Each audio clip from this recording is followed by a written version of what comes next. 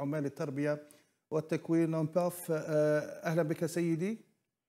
مرحبا أهلا وسهلا. شكرا جزيلا لك على تلبية الدعوة سي صادق تزيري ويلتحق بنا أيضا بعد لحظات فقط الناشط التربوي عز الدين زروق. اذا أبدأ معك سي صادق تزيري نتحدث ربما على العديد من النقاط اللي جاءت في تصريح وزير التربية الوطني عبد الحكيم بالعابد. والبداية ب خلينا نتحدث على قضية الإجراءات المتعلقة بالتلقيح ضد كورونا. قال الوزير بأنه سيكون هنالك ربما إجراءات جديدة ستضعها الدولة وعلى الجميع الامتثال فيها. من خلال هذا التصريح ما الذي تقرأه أنت؟ اولا شكرا على الدعوة. تحية لي وجودي وللمشاهدين الكرام عبر قناة النهار. فيما يتعلق بهذا التصريح يعني للوهلة الأولى وكأنه في إشارة أنه يكون فيه تكون فيه تعليمات صارمة بالجبر تجبر ربما الموظفين وربما المواطنين عموما على على أخذ اللقاح. حسب فهمت من إشارة السيد الوزير في هذا المضمار. لكن يعني الجبر و بهذا الشكل ربما ستكون له عواقب أخرى. نحن نتمنى انه نكثر أن نكثر من الوعي من درجه نرفع من درجة الوعي عن طريق المختصين عن طريق شرح كل القضايا المتعلقة بهذا الملف حتى تكون يكون الذهاب طواعية أفضل. من الجبر يعني هذا ما فهمته من خلال هذا التصريح يعني.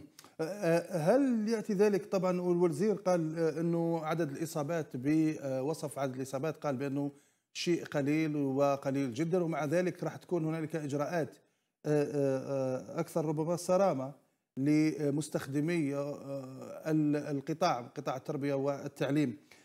هنالك نقطة أخرى سي صادق زيري الوزير تحدث ربما عن قضية امتحانات السنكيام وقال بأن بعد إلغاء طبعا امتحان السنكيام سيكون هنالك امتحان هذا الامتحان لتقييم مكتسبات التلميذ. كيف تقرأ هذا هذا الخبر أو هذا الإجراء؟ وخاصة أنه ربما الأولياء في الوهلة في الوهلة الأولى يقول لك إحنا تهنينا من من, من الامتحان تاع السنكيام ربما مع حالة الضغط مع الوضعية الصحية في البلاد وكل ما تشهده أيضا قطاع التربية وضغوطات ربما نفسية على الأبناء. امتحان آخر لتقييم المكتسبات لدى التلميذ. ما فحواه؟ كيف سيكون شكله برأيك؟ بالنسبة لي قبل أن أجيبك عن هذا الموضوع نعم. عن السؤال الثاني في إضافة بسيطة تفضل. متعلقة بالشق الشق الأول ما يتعلق بمواصلة الدراسة والإصابات مثل ما تفضلت ربما هي حالات قليلة جدا على مستوى المدارس لكن هذا يتطلب منا رفع درجة الحيطة والحذر يتطلب منا يعني تطبيق البروتوكول الصحي أكثر والالتزامات تكون والتباعد إلى آخره في المؤسسات التربوية حتى نستكمل السنة الدراسية إن شاء الله. في أريحية وبنصل حتى نصل إلى أن إنهاء الدراسة بثلاث فصول ونصل بعد ذلك إلى الامتحانات الرسمية. فيما يتعلق بالامتحان السنة الخامسة وإلغاؤه نحن ثمنا إلغاء هذا الامتحان ولعدة اعتبارات يعني لا داعي للعودة إليها. لكن اليوم أصبح فيه نقاش حول امتحان نهاية السنة. لأنه في القانون التوجيهي نعم فيه فيه بند يتكلم عن أنه المرور من من طور إلى طور يكون مسبوق بامتحان طبعا تقييمي لهذا الموضوع. إن وزارة التربية إلى حد الآن لم تفصح عن عن فحوى هذا هذا الإجراء ولم تفتح نقاش مع ربما الشركاء الاجتماعيين في هذا الموضوع إلى حد الآن. نحن نستطيع أن نقول أن هذا الأمر ما زال غامضا فيما يتعلق بهذا الموضوع والأمر جد بسيط في تقديرنا. يمكن أن ان نذهب أن نعتبر الامتحانات الثلاثة. هي امتحانات تأخذ طابع الرسمي الثلاثيات ويتم الاحتساب فيها خاصة أنه حتى الانتقال معدل الانتقال من من من السنة الخامسة إلى السنة المتوسط يحتسب للذين لم يأخذوا خمسة من عشرة في الامتحان سابقا أن يحتسب لهم معدل الدراسي للسنة ككل زائد ما حصلوا عليه من في الامتحان قسم اثنين. وبالتالي السنة الدراسية لها دورها أيضا ويمكن أن نعتبرها امتحانات الثلاثيات هي امتحانات آه، للتقييم ويكون فيها منشور واضح في هذا الأمر هذا. ويمكن ان أن نكيفها آه، نكيفها مع آه، مع القانون التوجيهي فقط في مرحلة الابتدائي في انتظار ربما تعديل هذه المادة في القانون التوجيهي. ولم لا؟ هل هل برأيك أستاذ صادق يعني من الممكن أن يكون هذا الامتحان التقييمي للتلاميذ من أجل تقييم مكتسباتهم هل سيكون مثلا على شاكلة ما كنا نعرفه سابقا بالامتحان الأبيض؟ والله إلى حد الآن لم تتضح الصورة يعني أقول بصراحة ووزارة التربية إلى حد الآن متكتمة على هذا الموضوع لم نناقش معها هذا الموضوع بعد لكن نقول أننا في تقديرنا يمكن أن نمر بسلام في هذا الموضوع لأن لما نستقرئ نتائج السنوات الماضية نعم أن الجميع ناجح وأن معدل الثلاثيات الثلاثة هو الذي يفصل في النهاية في الانتقال. يعني آه، كل من له معدل لا باس به في آه، في السنة الدراسية يمر إلى السنة الأولى من التعليم المتوسط. لكن رغم هذا نشدد نشدد في تقديرنا في في التقويم التربوي وفي التقييم الحقيقي أن يكون موضوعيا وأن يعطينا على الأقل ملمح قريب جميل. من ما هو مطلوب. من الملمح المطلوب نعم. سنه اولى من التعليم المتوسط عن طريق هذه الامتحانات. بعبارة أخرى أن تكون الامتحانات أكثر دقة أكثر موضوعية أن يكون تصحيح فيه صرامة أكثر. يعني نعم. حتى لا نخوف التلاميذ لكن نريد إذا كان جميل. سي صادق سي صادق سنتحدث. سنتحدث نعم. أعتذر على المقاطعة سي صادق الزيري حتى أتيح الفرصة فقط لضيفنا أيضا سي عز الدين زروق الناشط التربوي. سنتحدث عن آه، امتحانات شهادة المتوسط والبكالوريا التي قال الوزير بأنها ستكون في آه، مواعيدها المقررة. أتيح المجال الآن للأستاذ عز الدين زروق آه، الناشط التربوي. أهلا بك سيدي شكرا جزيلا لك على تلبية الدعوة.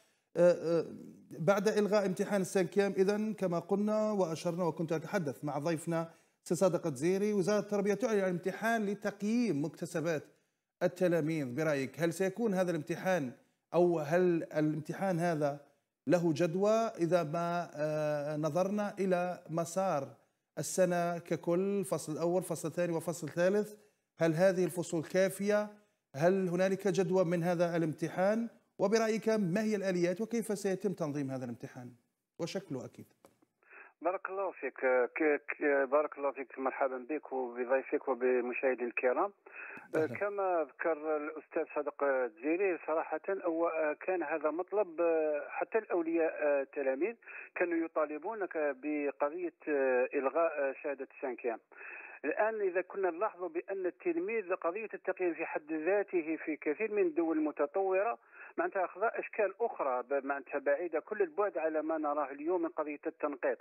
إذا تكلمنا مثلا على السنة الثانية والثالثه التلميذ لا لا يدرك ولا لا يدرك حتى قضية التنقيط هذه ما, ما هو معناها وما هو جدواها ما زال لا يعرف قضية التنقيط. اذا القضية المعنية بالتنقيط والتي يعطيها الأولياء أو التلاميذ اهتمام هي قضيه سنة ربما الرابعة والخامسة نعم. فإذا كان السنة الخامسة إذا سميناها هي حوصلة حوصلة للسنوات السابقة أو هي ارتكاز على أمور آه، كانت تراكمت تعليميا وتربويا حتى أن وصلت إلى السنة الخامسة وبالتالي نقول بأن السنة الخامسة هي معيار لا بأس به لتقييم التلاميذ وهو أكثر آه، أكثر جدوى وجدية وموضوعيه وأكثر تمثيلية لمستوى التلميذ العلمي وما تحصل عليه من مكتسبات.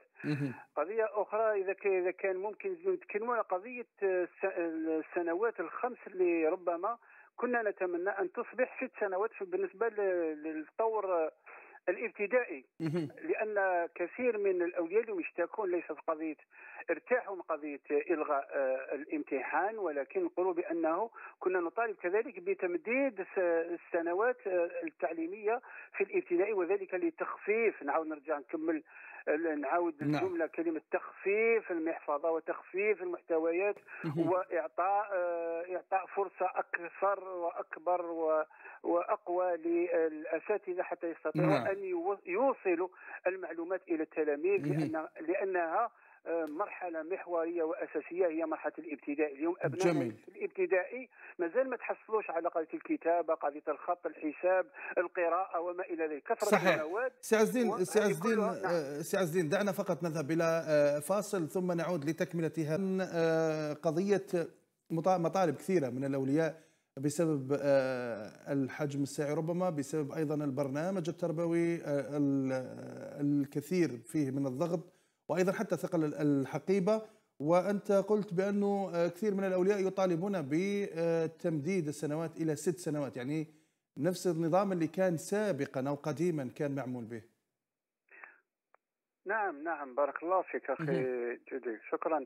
فيما يخص قضية التمديد هذا معناتها راهو مطلب أولياء معناتها مطلب الأولياء حتى الطبقة التربوية معناتها الأسرة التربوية معناتها أدركت بأنه لما خلصنا خمس سنوات وكدسنا كثير من المواد في حجم ساعي غير كافي. طبعا لما تتقلص في, في, في الوقت وبالتالي راح أزيد إلى ذلك أنه قضية تقسيم الأفواج وتقسيم الأفواج أدى إلى مضاعفة عدد الساعات بالنسبة للأساتذة وتكرار المواد وما يسبب فيه من ملل على الأساتذة وما إلى ذلك. كل هذا كل هذا. طبعا هذه فترة كورونا نتكلم كحالة خاصة ولكن حتى في في الحالة العادية طبعا يكون هنالك تقليص. وبالتالي العودة وهذا كان نظن بأنه لمح إليه وزير التربية آه لما قال ربما يكون في مراجعة المنظومة التربوية نعم. وهذا شيء أسعدنا والذي أسعدنا أكثر هو أن راينا رئيس الجمهورية أشرف على قضية المنظومة الصحية بمعنى أنه نظن باللي في استراتيجية رئاسة الجمهورية أنه العودة معناتها إعادة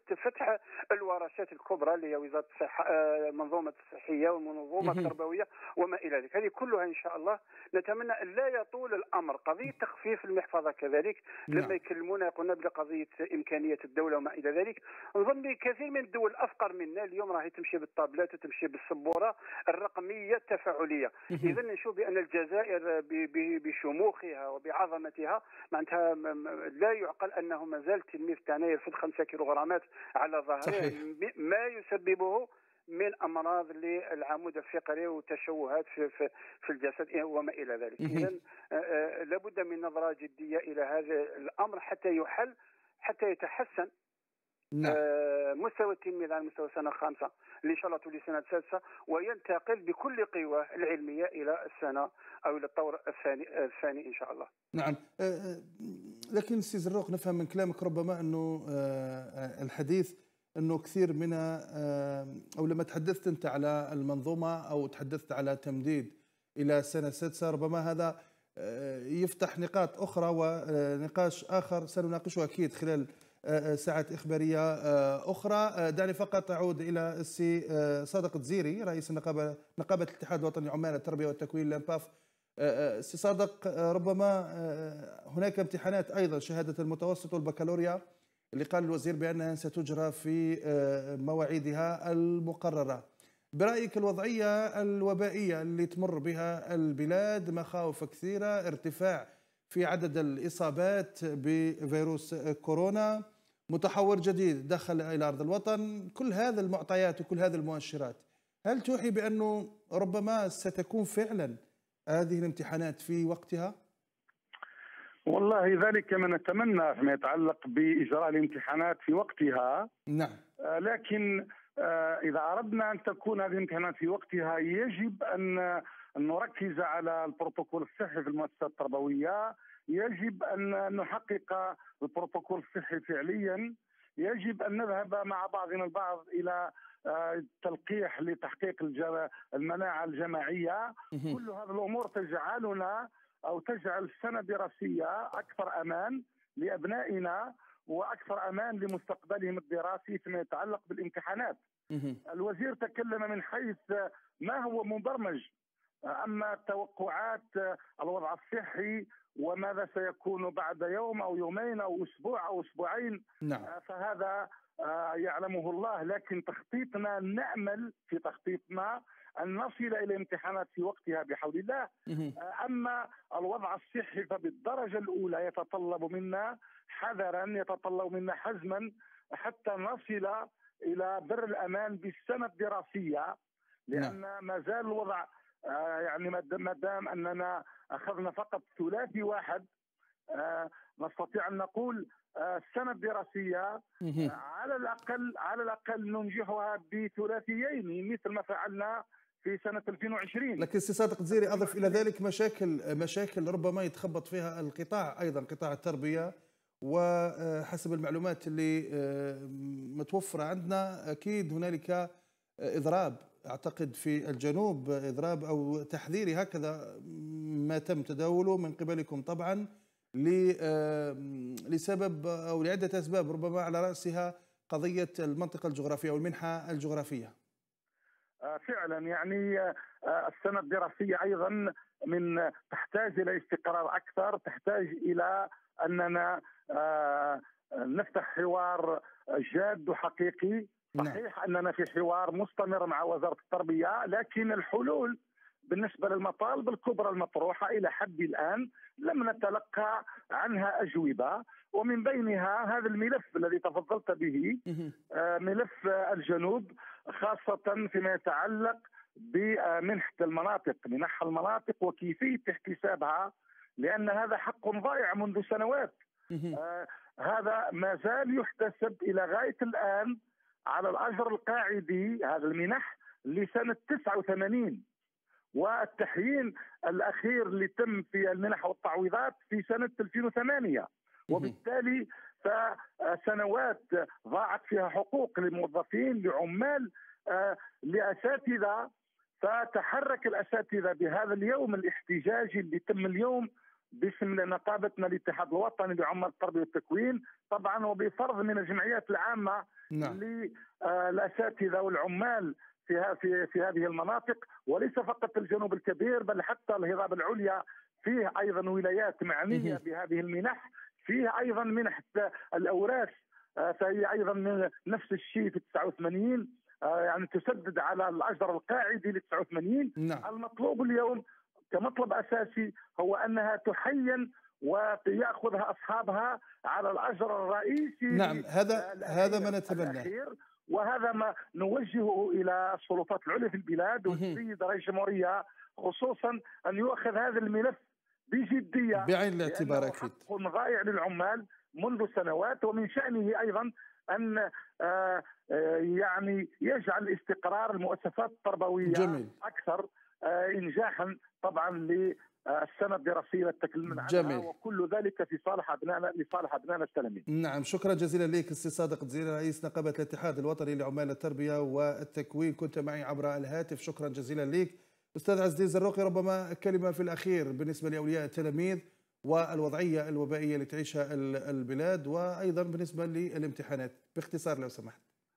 أخي جودي بارك الله فيك على نعم. كل حال ختامها لم يكن مسكا كبيرا وللأسف كنت يعني صراحة التخوف الأولياء هو دائما من قضية الإضرابات وكان في آخر كلمة للشيخ المربي السي صادق الزيري الذي احترمه كثيرا.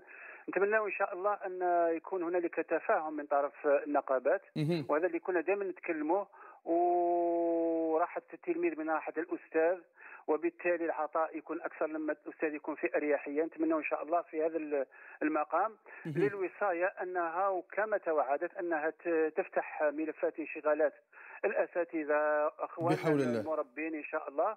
وقضية أن المدارس والقطاع معناتها بعض المدارس راهي تعبانة خاصة نعم. التي هي تابعة للبلديات. رئيس الجمهورية كان تكلم أو رئيس الحكومة كان قال بأن هنالك ميزانية تعود إلى هذه المؤسسة التربوية ل معناتها لترميمها وكذا وما إلى ذلك.